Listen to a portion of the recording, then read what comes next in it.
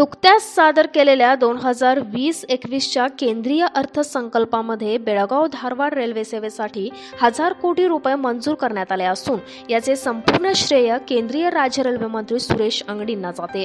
केंद्रीय अर्थसंकल्पामध्ये रेल्वे विभागाच्या बजेटमध्ये बेळगाव धारवाड रेल्वे सेवेसाठी निधी मंजूर झाल्याने प्रवाशांना आणखीन सुखकर होणार आहे.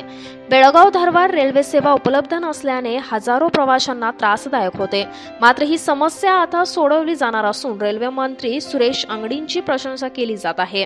रेल्वे मंत्री सुरेश अंगडी यांचा हा हजार कोटी रुपयाचा निधी मंजूर करण्यास मोलाचा वाटा असून बेळगाव धारवाड रेल्वे सेवेसाठी केंद्रीय अर्थसंकल्पातून मंजुरी मिळाल्याने लवकरच बेळगाव धारवाड रेल्वे सेवा प्रारंभ होणार आहे.